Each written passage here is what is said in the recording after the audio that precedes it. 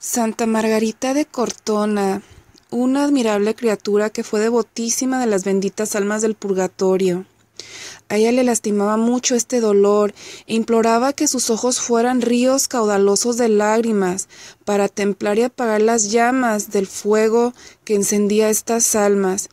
Siempre las miraba con santa emulación, procurando su seguridad y considerando que siendo amantes de Dios no se le dilataran los plazos para gozar de nuestro Señor, de ver su hermosura y gozar de su presencia eternamente. Les tenía una, una ponderable lástima. Aplicaba siempre sus labores para satisfacer las penas de una forma más rigurosa y en mortificaciones por las benditas almas del purgatorio a las cuales le tenía mucha paciencia. Siempre gozaba cuando salían gloriosas de sus penas, de estas prisiones terribles, y ellas se le aparecían siempre dándole gracias de su libertad. Una de estas inclusive fue la de su propio padre, que se benefició con tantas oraciones y piedades de Santa Margarita de Cortona.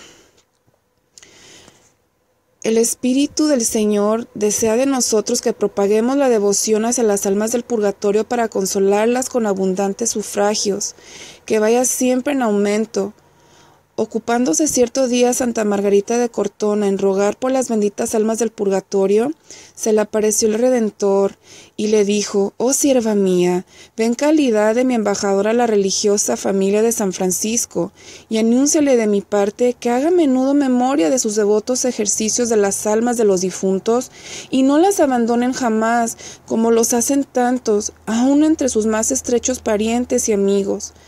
Esta misión de Santa Margarita sea también misión nuestra, y no nos contentemos con sufragar solo a nosotros, a las almas, sino procuremos también sufragadores, con el ejemplo de nuestras palabras y con consejos, y particularmente contraerlos a esta santa devoción, y entonces así, hermanos, podremos con verdad llamarnos verdaderos redentores y apóstoles del purgatorio.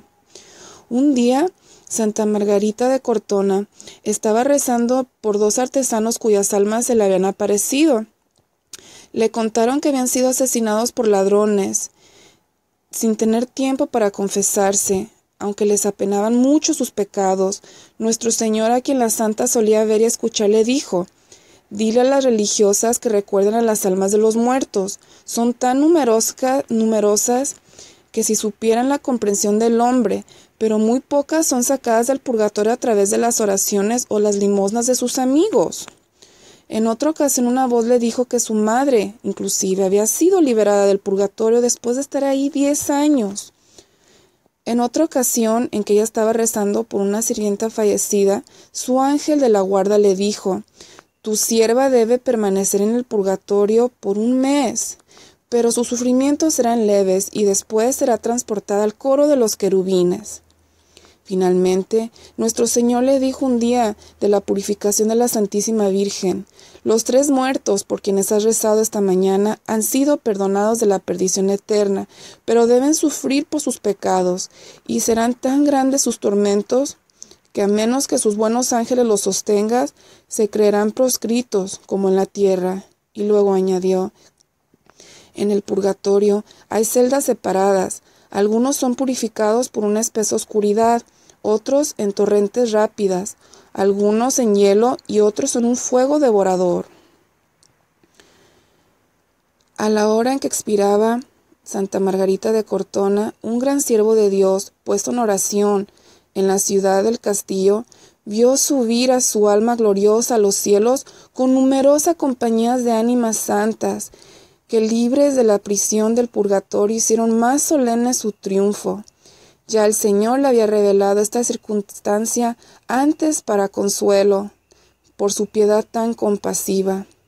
Este varón virtuoso que vio esta visión fue el primero que llamó Margarita, la segunda Magdalena.